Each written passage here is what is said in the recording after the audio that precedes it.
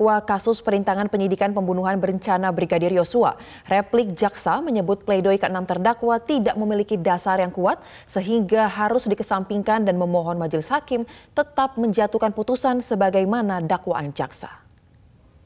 Dalam pledoi penasihat hukum terdakwa. Seluruh pledoi atau nota pembelaan keenam terdakwa obstruction of justice ditolak oleh jaksa dalam repliknya yang dibacakan di Pengadilan Negeri Jakarta Selatan pada Senin siang.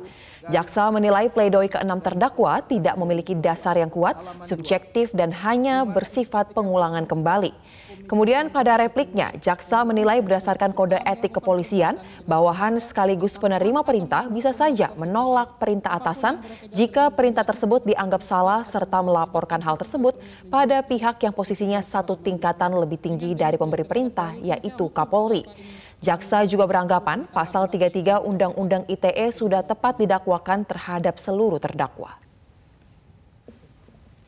tersebut kepada penyidik perkara Baris Kim di TV Terkait tidak terpenuhinya unsur pasal 49 junto pasal 33 Undang-Undang ITE yang dituntut oleh JPU terhadap keenam terdakwa, menurut jaksa unsur-unsur pasal tersebut telah terbukti karena sudah didasarkan pada alat bukti. Adapun agenda sidang selanjutnya adalah duplik kuasa hukum terdakwa Baikuni Wibowo dan Cuk Putranto pada Rabu 8 Februari mendatang. Sedangkan sidang duplik terdakwa Hendra Kurniawan, Agus Nurpatria dan Arif Rahman Arifin digelar pada Kamis 9 Februari mendatang.